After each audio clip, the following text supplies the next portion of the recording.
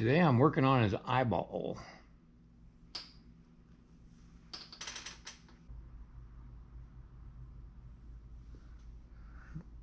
I gotta increase the uh,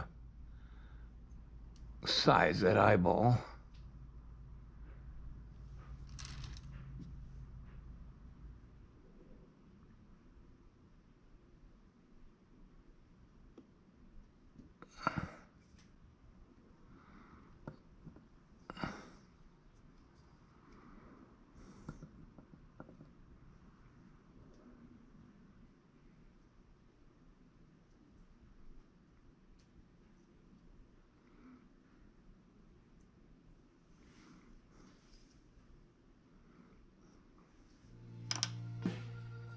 Time to play with some clay.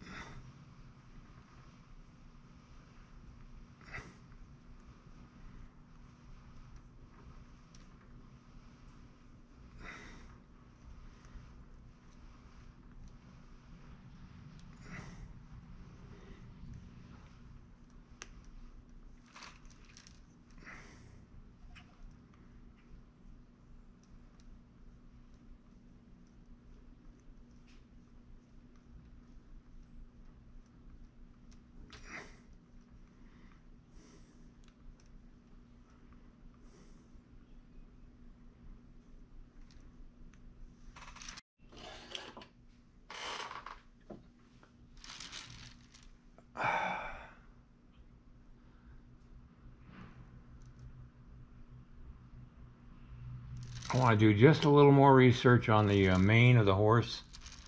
Um, I want to get the Mustang right. I have an idea of what I'm thinking of as far as the hair goes, or the mane goes. And I just want to take a break and go do a little searching through my photographs that I've taken over the years and uh, try to come up with a good uh, set of photographs that I can work from. This clay is also getting really hard. This is this is the old clay that I created this horse with about a year and a half, maybe two years ago. And uh, it's gotten stiff because the oil evaporates over time out of the uh, clay. All right, I'm back. I took a couple hours and ate dinner and did a little research, and it's a lot cooler in here now, right now because I got the window open. The evening breeze is just spectacular. Anyway, I'm going to continue working on the mane, and uh, I'm trying to decide how I want to do this. Uh, I got several pictures. I got several pictures of uh, Mustangs, and uh, what's interesting is we, where I live here in Montana, in the Madison Valley, the uh, mountains to the west of us, the uh, has one of the largest uh, wild horse herds left in the country. Running free over there.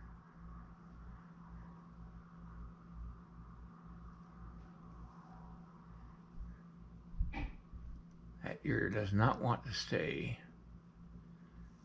I'll have to adjust that.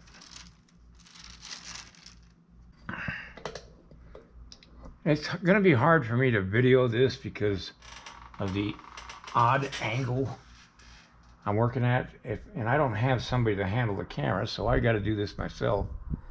And so I'm just going to turn off the camera and come back after I get uh, done with a few things here.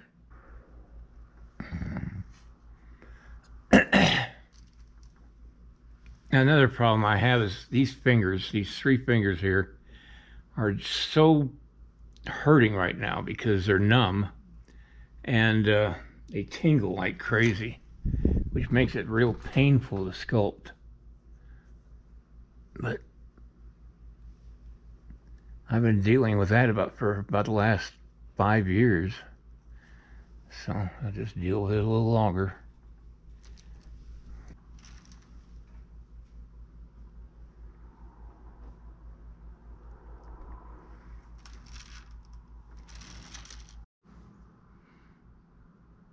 I've blocked in the uh, mane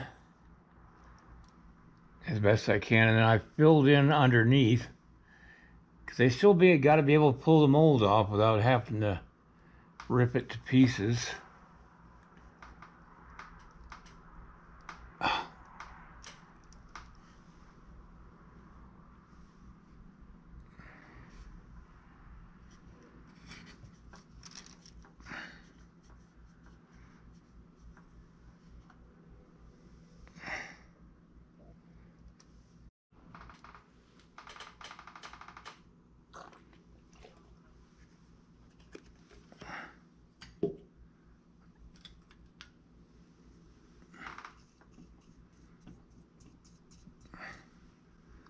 I'm going to take uh, this Ronsonol lighter fluid and take out the rough areas.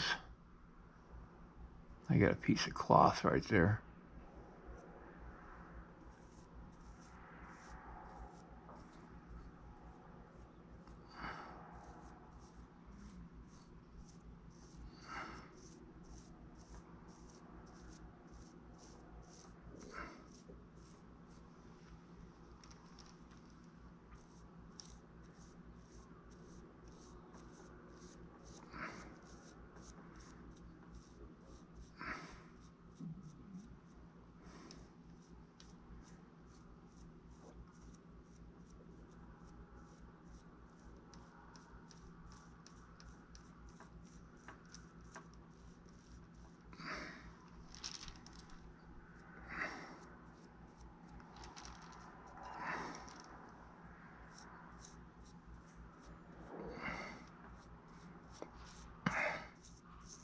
I'll add just a little more detail next week. I'm going to take uh, Saturday and Sunday off. I'll put this video out tomorrow, which is Saturday. But uh, it's getting too late at night now to do it.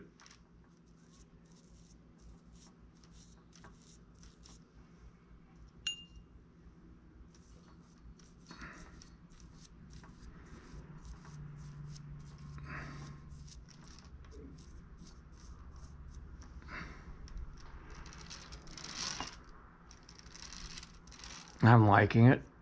It's looking good.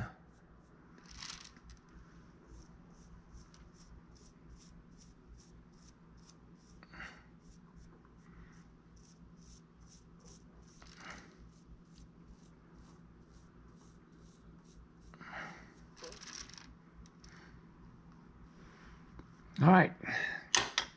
That's it for the weekend, and I'll see you next week. Give me a thumbs up and share my video. And then check out my instructional DVDs, uh, the link down below this video. All right. See you next time.